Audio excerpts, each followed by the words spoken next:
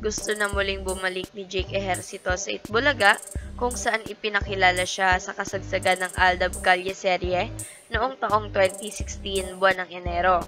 I think noong time na pinapabalik nila ako, medyo pabalik-balik pa ako sa Singapore. Hindi pa ako makapag-commit, but I did a couple of. Lahad ni Jake. Natanong rin naman ito kung mayroon pa rin ba silang komunikasyon ng aktres na si Maine Mendoza. Not so much anymore paminsan-minsan. Siguro nagdi-DM, nagkakamustahan, pero not so much anymore. Aniya. Inakala namang third wheel siya noon kina Main at sa aktor na si Alden Richards, kaya siya nabash. Okay lang mabash kung totoo, pero kung hindi totoo, yes, we're out pero there's nothing. Maraming nasabi nun, pati yung parents ko, sinali nila, sabi ni Jake. Pero most of all, yung pinakamasakit, anak ko na yung isinasali nila. Yun talaga ang medyo ano, we're good friends. Good friends.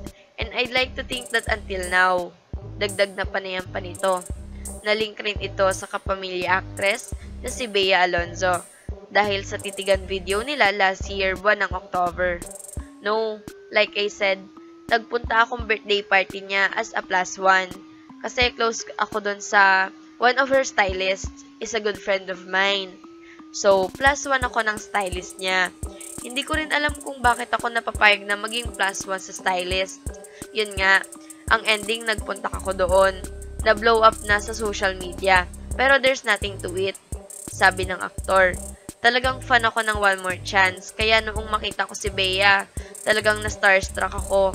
Kasi in my head, si Basha. Fan ako ni Basha at Popoy. Dagdag pa nito.